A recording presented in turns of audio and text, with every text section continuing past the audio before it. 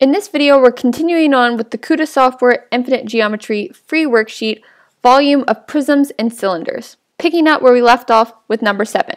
Now remember for prisms and cylinders, the volume is equal to the area times the height of that figure. And the area is the area of one of the bases.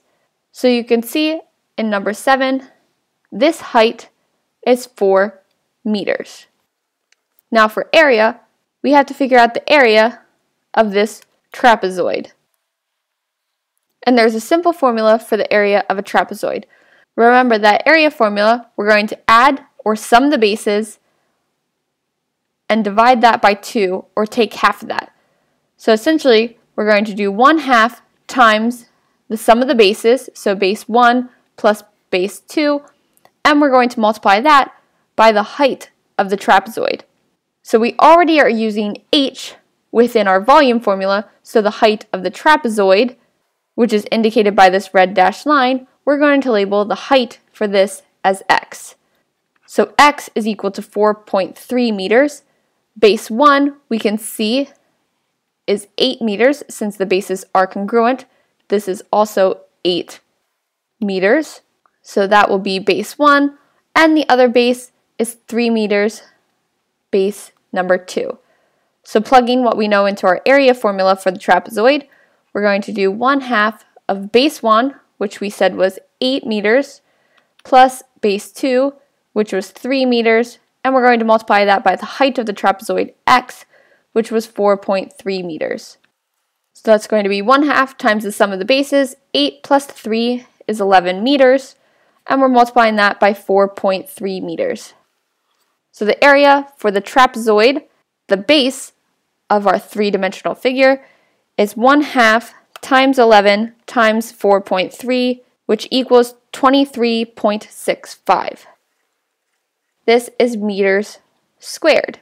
So now let's plug in what we know to our volume formula.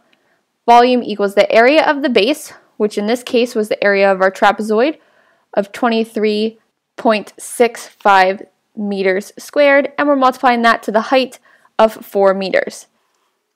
Typing that into our calculator, 23.65 times 4 equals 94.6, and that's meters cubed, since area times height meters squared times meters results in meters cubed. 94.6 meters cubed. And number 8, our base is a triangle. So for area, Note that this is a right angle, so this is also a right angle. So area is equal to 1 half the base times the height, or essentially, in a right triangle, the length of both the legs. So it'll be 3 miles times 4 miles, and 1 half of that. So 1 half of 3 miles times 4 miles is the area of the triangle, the area of the base of our prism. So 1 half times 3 times 4 is going to be 6 miles squared. So for volume, since volume is equal to area times height, all we need to do is figure out the height of this prism. And the height is equal to 5 miles. So volume equals area of 6 miles squared times 5 miles. And 5 times 6 is 30. So the volume is 30 miles cubed for number 8.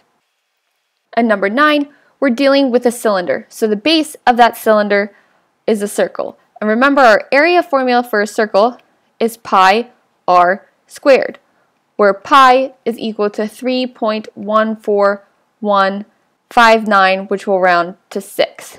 So if your calculator doesn't have pi, just use this number to represent pi. r represents radius. However, in this diagram, they give us the diameter the diameter is 2 times the radius. So diameter d equals 2 times r. So if we're given the diameter, we're just going to need to divide both sides by 2 in order to get the radius. So the diameter divided by 2 equals the radius. And if the diameter is 22 feet, 22 feet divided by 2 equals our radius of 11 feet. So for area, we'll have pi times 11 squared. So that's going to be 11 squared, which is 121, so 121 pi, or 121 times pi. And remember that volume equals the area of the base times the height for a prism or a cylinder. So our height in this figure is 10 feet. And we figured out that the area was 121 pi. So 121 times pi times 10 feet is going to equal 3,801.3. And since we're dealing with volume, that's going to be feet cubed. So using the exact number for pi, we'll get 3,801.32, which will round to 0.3. However, if instead of pi, you use 3.1416, a rounded number of pi, you will get 3,801.33, which still rounds to 0.3. In number 10, we have a base that is a triangle. And remember, that area of a triangle is 1 half the base times the height. However, so we don't confuse the height within volume, as opposed to the height within our area formula, I'll label height in our area formula as x. So we're going to do 1 half b times x. The base we can see is 9 kilometers. And the height of that triangle x is 6 kilometers. So area is equal to 1 half of 9 kilometers times 6 kilometers, which equals 27, and that's 27 kilometers squared. Note, we were not able to use 7 or 8 because the height associated with each of those is not provided. However, when we have 9 kilometers as the base, the height that goes with that base, our x value, was 6 kilometers. Now let's look for the height in this solid figure, and that's 10 kilometers.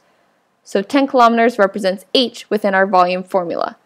So plugging in our area of 27 kilometers squared times the height of 10 kilometers, 27 times 10 is 270, and that's 270 kilometers cubed. In numbers 11 through 14, we're no longer given a diagram for the figure, we're just given words, which is easy to figure out. Remember volume equals area times the height for a prism or a cylinder. So a cylinder with a radius of 4 yards and a height of 5 yards. Our h is 5 yards and our radius r is 4 yards. So volume equals area, which, if we have a cylinder, the area of the base, is going to be pi times r squared and that will get multiplied to the height for volume. So here we have area multiplied to height. So now let's plug in what we know. Volume equals pi times r squared, which is 4 squared, times our height of 5. 4 squared is equal to 16, so that's 16 pi, and we're multiplying that by 5.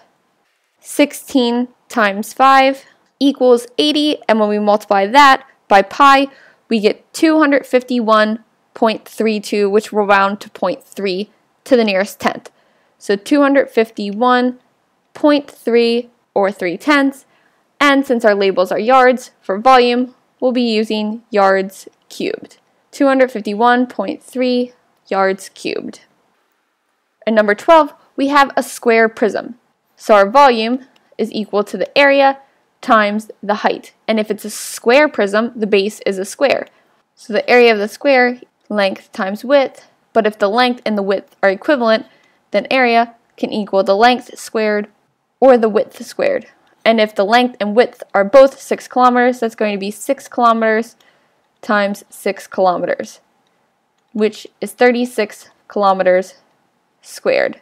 And the height is 5 kilometers. So volume is going to equal that 36 kilometers squared times the height of 5 kilometers. 36 kilometers squared times 5 kilometers equals 180 kilometers cubed. And number 13, a hexagonal prism is 5 yards tall, so the height of the prism itself is 5 yards. So this is h. The regular base measures 5 yards on each side. So the side length S is 5 yards, and since it's a hexagonal prism, the base is a hexagon, so the number of sides is 6. And the apothem is 4.3 yards. So when we plug in volume, volume equals area times height, which the area of a regular polygon is 1 half of the apothem times the perimeter, which we know is n times s, and then we're going to multiply the area by the height in order to get the volume. So let's plug in what we know.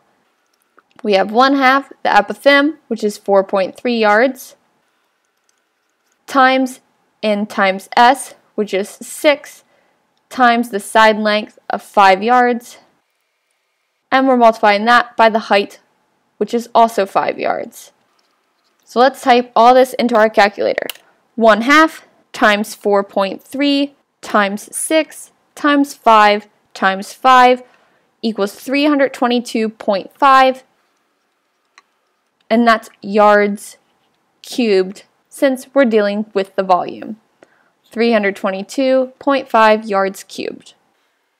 And lastly in this video, I'll go over number 14.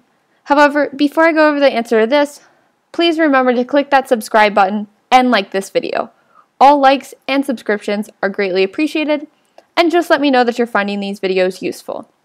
So continuing on with number 14, we're looking at a trapezoidal prism.